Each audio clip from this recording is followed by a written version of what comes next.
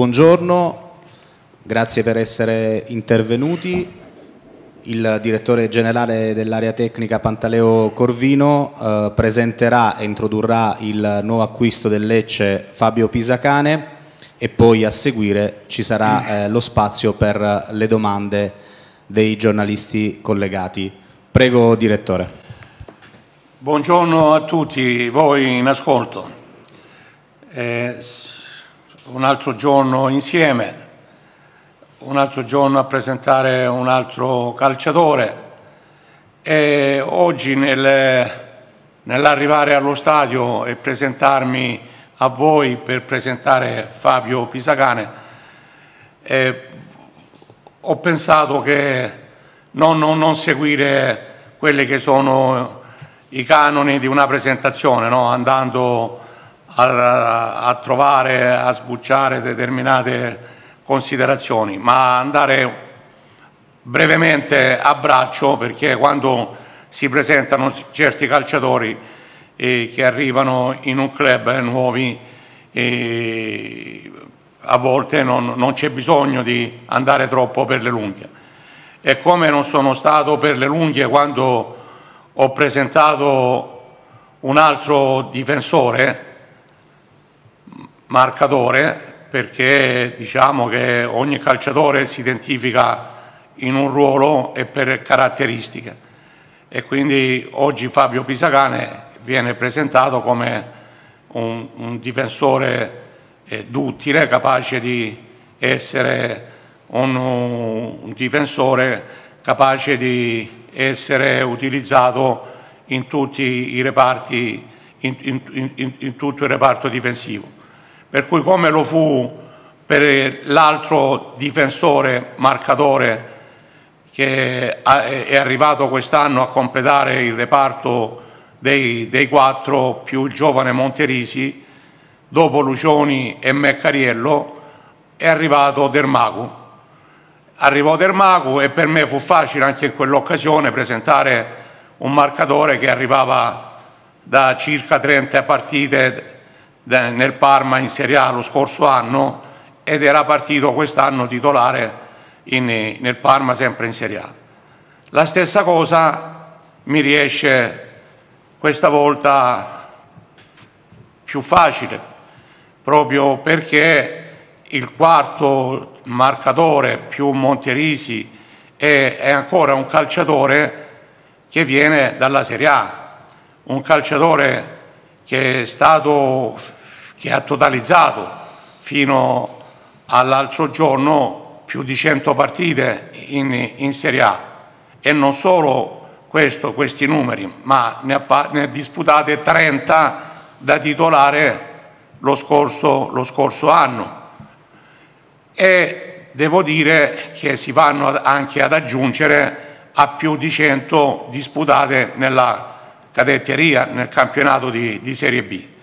Quindi questo è Fabio Pisacane che io oh, smetto di, di, di, aggiungere altro perché non ha bisogno di, di aggiungere qualcosa in più.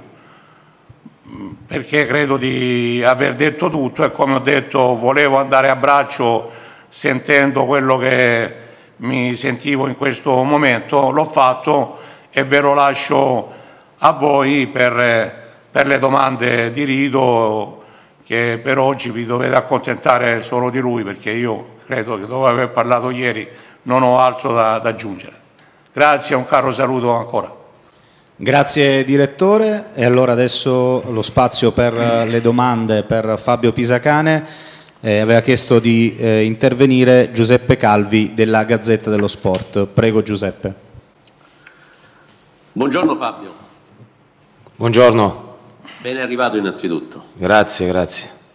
Sino, sino, a poco tempo fa ero io a vedere il tuo Cagliari venendo lì da inviato, ora sei tu nella nostra Lecce e quindi parliamo un po' della Serie B che tu ritrovi dopo cinque anni e quella volta fu un'esperienza felicissima perché hai vinto il, il, tuo campionato con il Cagliari.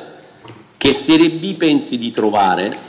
Eh, forse con una lotta più più agguerrita perché c'è un, un, gruppo ampio di squadre in lotta per la promozione e soprattutto eh, le tue condizioni dovrebbero essere al meglio, appurato che hai giocato la penultima partita di campionato e anche quella di Coppa Italia. Benvenuto ancora.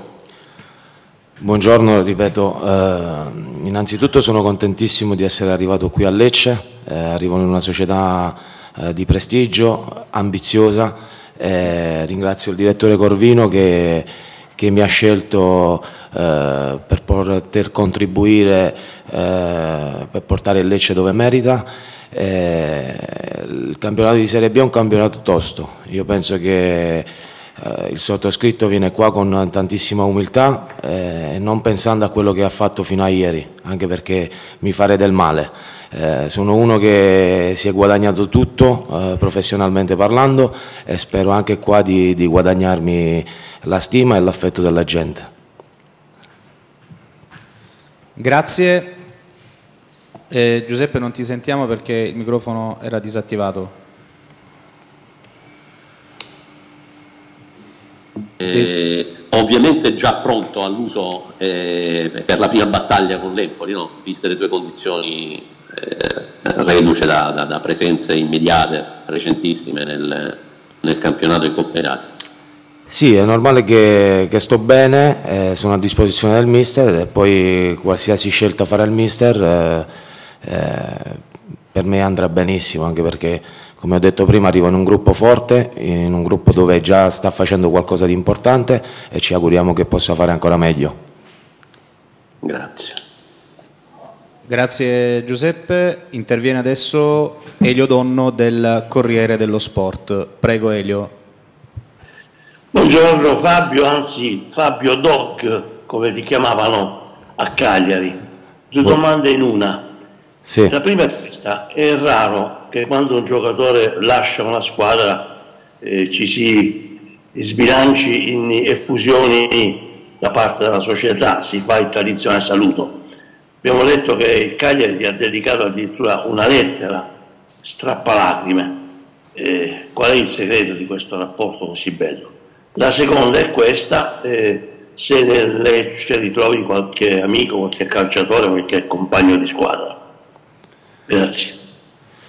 Buongiorno, eh, io penso che in tutti i posti che sono andato ho cercato sempre di lasciare un ottimo ricordo soprattutto dal, dal punto di vista umano, anche perché i calciatori, i presidenti, i direttori passano, eh, dico sempre che nel calcio rimangono due cose, l'uomo e la maglia e io ho sempre cercato di, di onorare eh, da questo punto di vista. Eh, eh, spero di fare altrettanto qua eh, e niente. Eh, ho giocato già con Taxidis, con Gabriel, con Meccariello alla Ternana, comunque i ragazzi li conosco tutti perché oltre che giocare a calcio sono un appassionato. E mi piace sapere, mi piace informarmi, i ragazzi li conosco tutti, eh, li alcuni li ho incontrati da avversario fino all'anno scorso per cui sono contento di aver fatto questa scelta ma soprattutto sono convinto di essere arrivato come dicevo prima in un gruppo forte. E, questo, e questo ha facilitato anche la scelta. Quindi ti senti ormai già a casa tua, l'impatto con la squadra è stato facilitato da tutte queste conoscenze? A casa mia no, perché spero di farla diventare, anche perché sarebbe una sviolinata e, non mi piace fare sviolinate.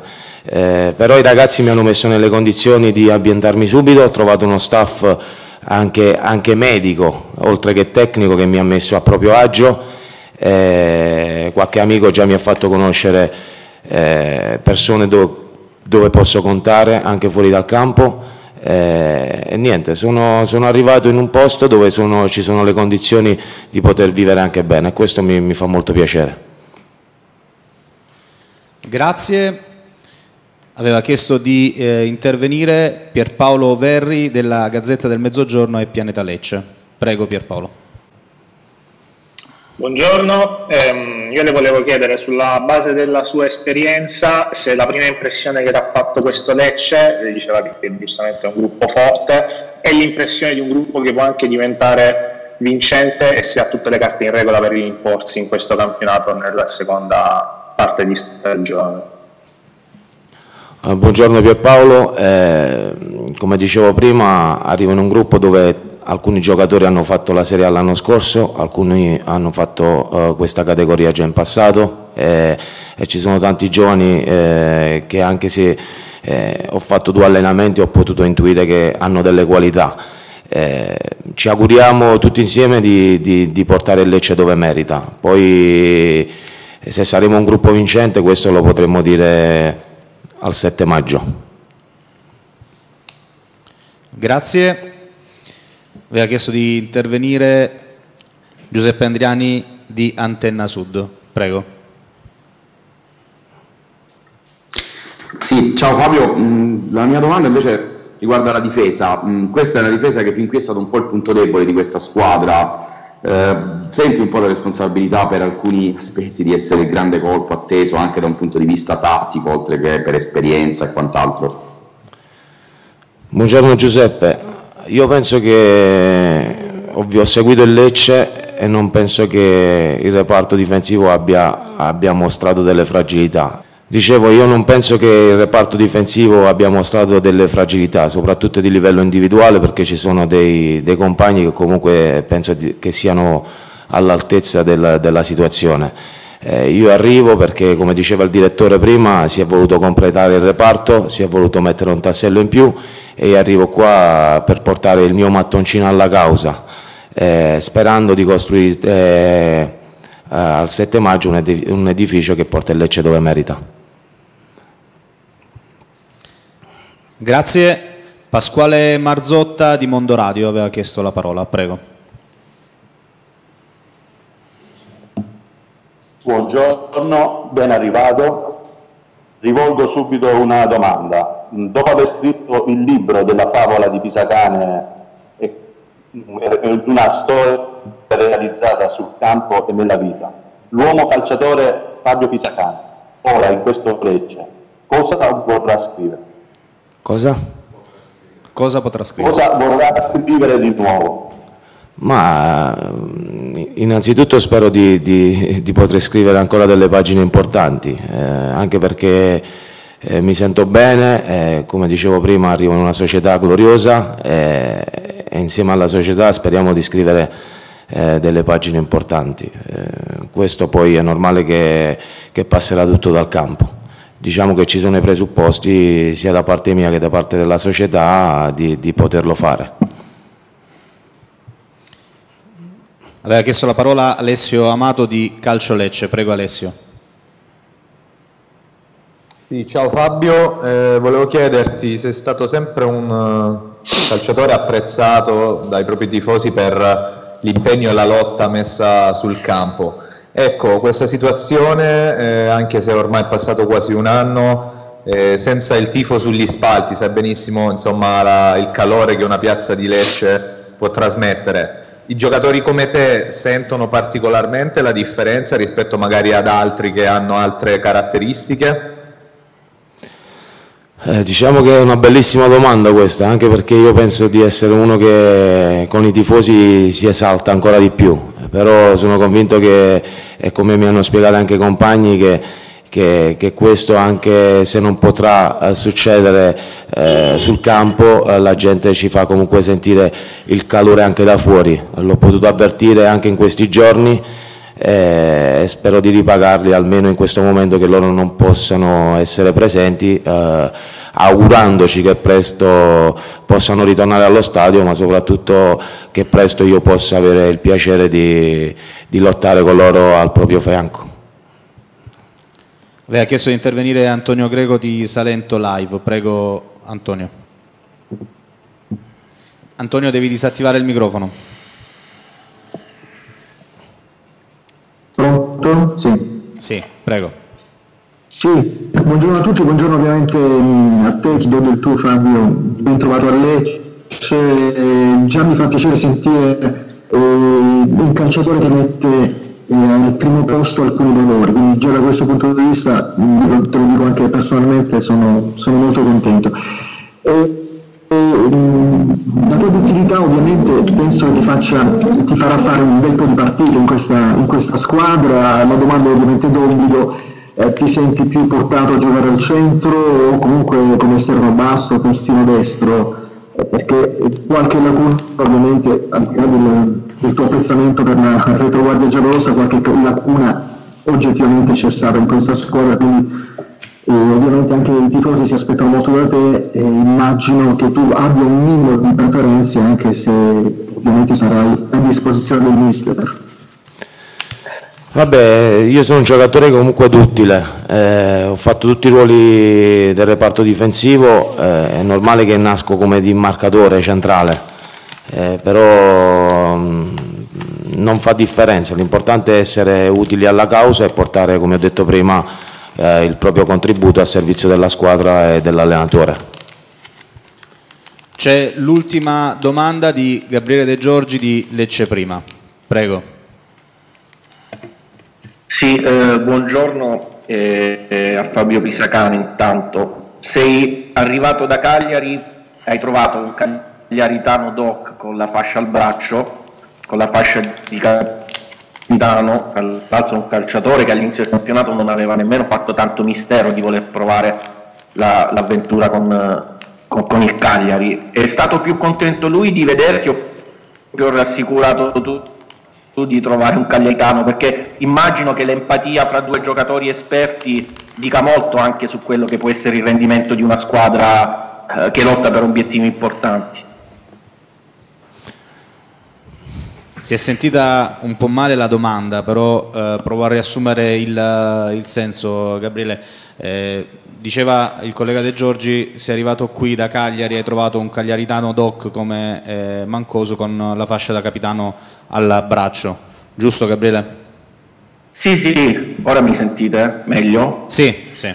Oh, dicevo, quanto è importante l'empatia fra due giocatori esperti che possono avere anche ricordi ed esperienze magari in comune e che ti è sembrato più in generale di, di, di Mancosu perché è un capitano atipico, non si sente quasi mai alzare la voce, è un ragazzo uh, pacato, però in questi cinque anni ha dato tantissimo a Lecce.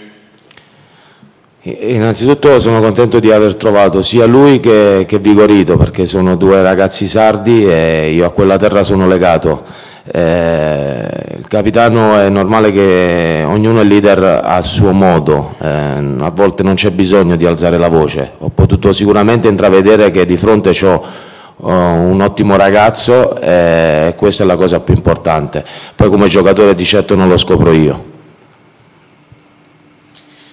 Aveva chiesto uh, di intervenire Elio Donno del Corriere Sport, ultimissima domanda, prego Elio. Scritto rapidissimo che serve a tutti. Il numero di maglia che hai scelto Fabio?